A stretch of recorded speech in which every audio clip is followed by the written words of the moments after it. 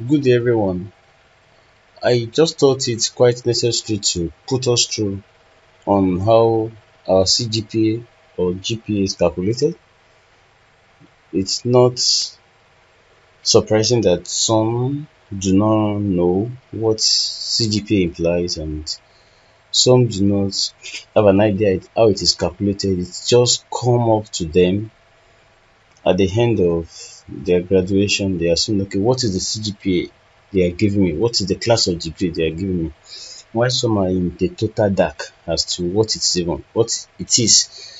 It is quite essential for us to know so that it will guide our learning, especially for those of us that are intending to use our certificates for to further our study or you want to use it to secure one position or the other or you want to use it to apply for something whichever way. So we have first class we have second class upper second class lower and all of that. So we just want to put us put ourselves through how this is calculated. And very briefly i'll be using portal because the portal has been able to do the work up to a point for us. We just have very little things to do for us to be able to get a CGPA. The portal has already calculated GPA for us. But how the portal also arrived at GPA, we'll look at it and how the portal arrived at CGPA, we'll look at it and how we can also do that manually ourselves. We'll get it done as well. you, it is not surprising that, I mean, it's not new to us that uh, the grading system we are using is 5 scale implying that you either have a first class, you have, or you have second class upper, or you have second class lower, or you have third class uppers. We use five grade scaling system as given by NUC, and the score method we are using is from 0 to 39 you get F, from 40 to 44 you have E. Now a, B, C, D, E, and F, they all have what we call points. They all have what we call points, that is grade points. Any in any course where you score A, you've gotten the highest point, which is 5. We will see how these points are used on the portal. They use this point to multiply our units. It will give them what is called weight grade point okay? Now in a situation where you got yourself b is a 4 point c is 3 d is 2 points e is 1 point f is 0 point. Okay? Anywhere you score f you have nothing to add in terms of value to your CGPA calculation. While the unit will be used to compute your CGPA it will drop you while it added no value to you. While this one on the other hand only had a significant value and the units will also be added. Okay, now let's move straight to the portal. We are going to be using this student account for example. Okay, I have the results here opened. This is the way you have your result as well. Okay, this student registered seven courses first semester, eight courses second semester. At the end of each semester, you have what is called grade point. While when you are combining two semesters calculation together, you have what is called cumulative grade point average. That is CGPA. But in a situation where you only have one semester, it is called GPA, that is grade point average. Now, the way the portal does it is this you are given grade point average for each semester and they are distinctive. What do I mean by this? The calculation of two points, the calculations that led us to 3, 2.39 is only based on the results you got here.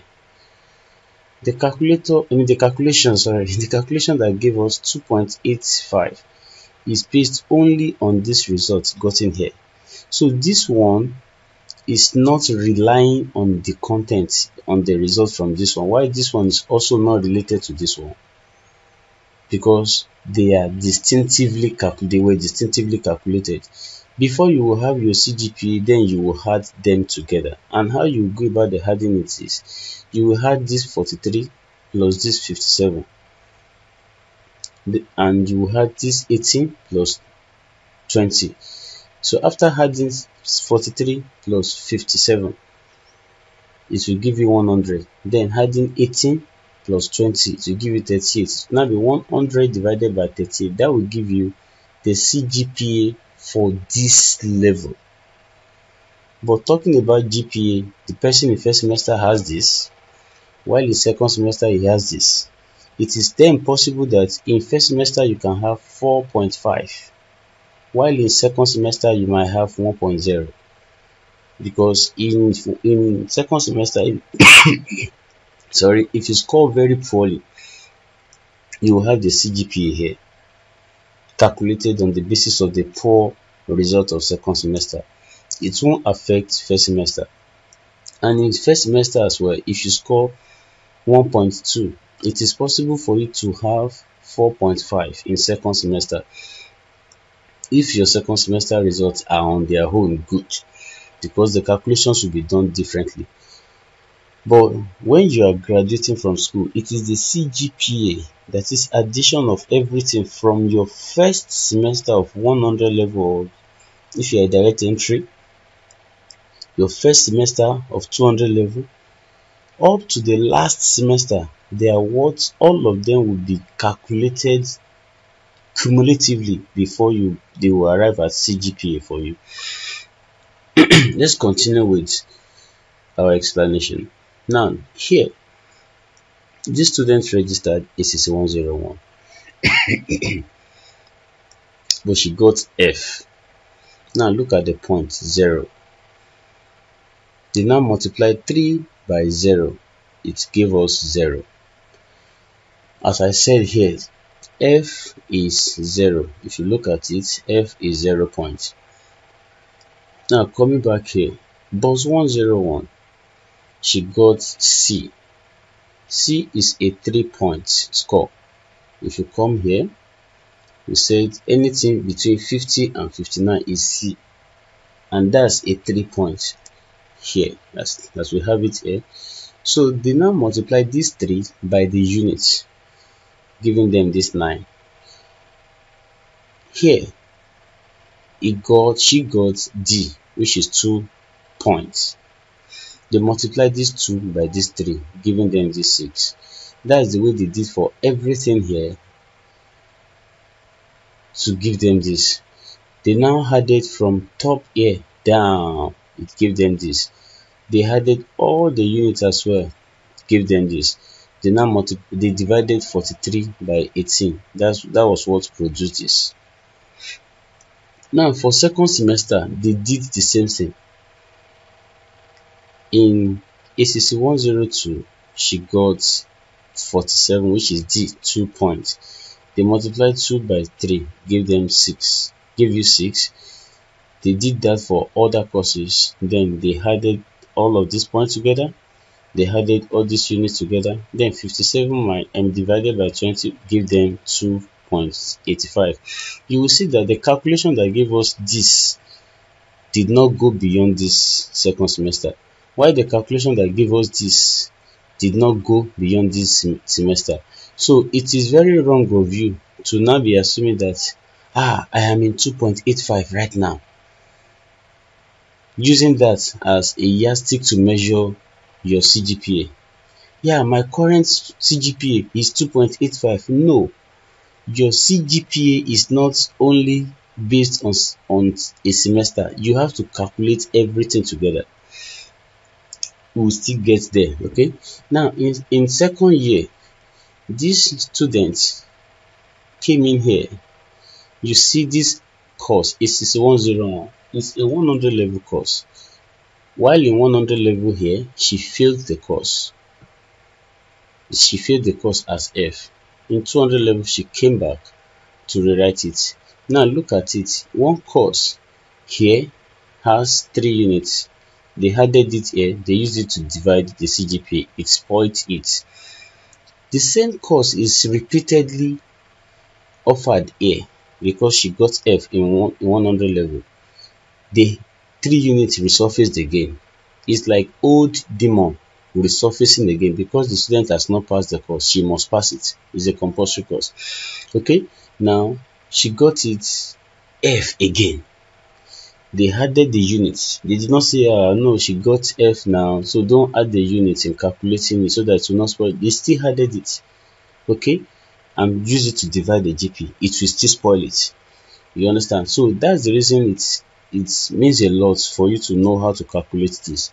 Now, she got it as F. They use it to calculate it. So they, cap they calculated all these ones. Look at this. She got 68 here, which was B. Hmm?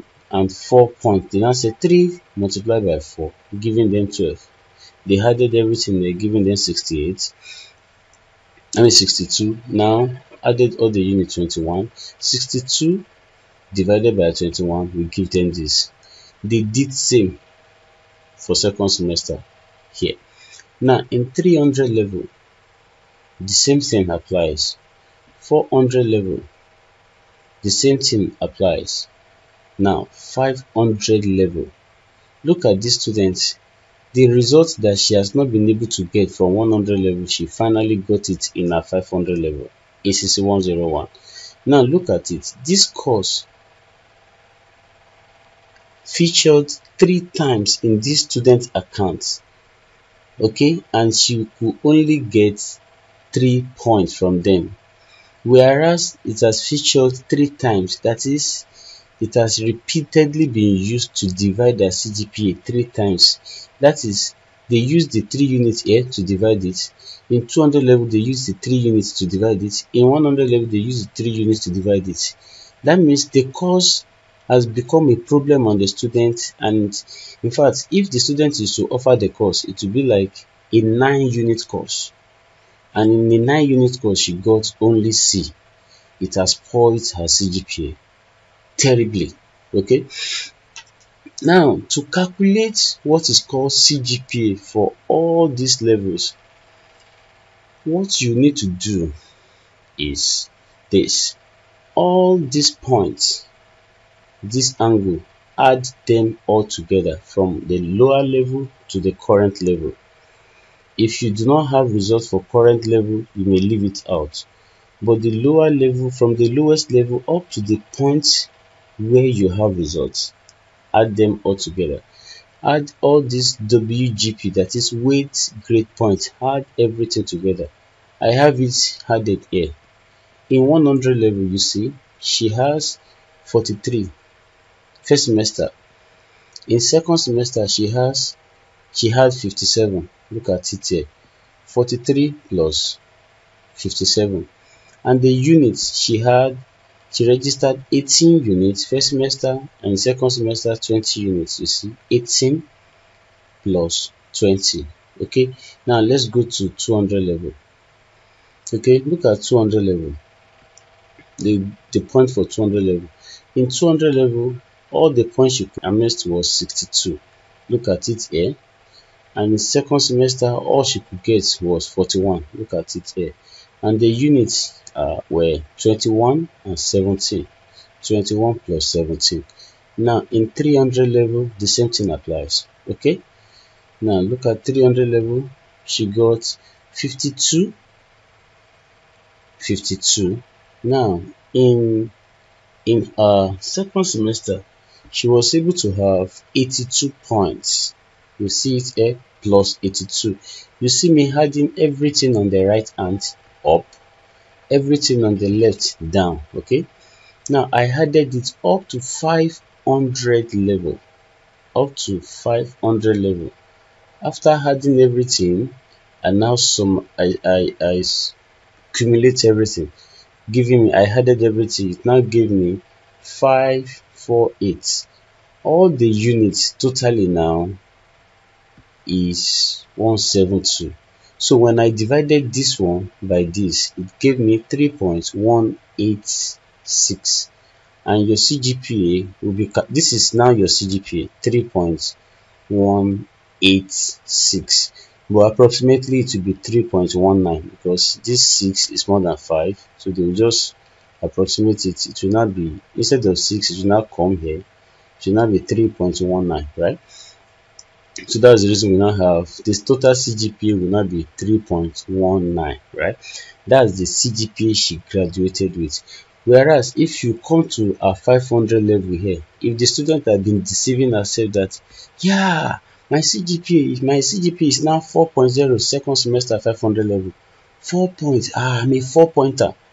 You know, she would have been deceiving herself because this 4 points is only on the basis of the second semester 500 level.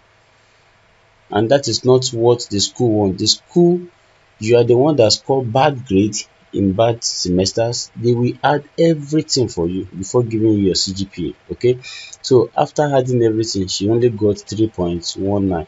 Now, the next question is this 3.19, what does it imply? Okay, now as I said, we are using a five skill grading system. Anytime your CGPA is between 1 to 1.49, you will graduate with what is called a pass when you graduate with a CGPA of one, between 1.5 to 2.48, your CGPA is going to be third class honors. Uh, no, I graduated with third class, I graduated with third class. Now, when your CGPA is between 2.49 to 3.49, you graduate with what is called second class honors, lower division. That is 2-2. They call it 2-2. Now, if your CGPA is also between 3.5 to 4.49, you graduate with what is called second class honors upper division, also known as 2-1. If your CGP is between 4.5 to 5, you graduate with what is called first class. Okay, now let's look at this person's results. She graduated with 3.1 now. looking at this arrangement now our result falls between this right so which means that she ended up with second class honors. So that's actually how to come up with your the calculation of your cgpa okay? And it's is to is to get us serious on academics. Sometimes when you especially when you are in second class upper okay? That is when your cgpa is between 3.5 to 4.49 if you are scoring anything less than b it will be dropping your cgpa especially a three unit course it will drop your cgpa it will drop it down once you hit 3.5 between 3.5 to 4 points, you must not score less than a B. It will drop you down. And once you hit 4 points upward, if you are scoring B, it will be so very insignificant and it will get to a point like if you are hitting 4.4, 4.3, scoring B will be dropping you. You can do the calculation yourself, okay? Now, for a first class student, anytime you score a B, it is automatically going to drop you down. You must keep scoring A so that it will keep helping you to grow. Okay, that's how to go about calculating your CGP. I just thought this might be helpful. So if it is, please share with others and please like, subscribe to the channel for more. Thank you so much.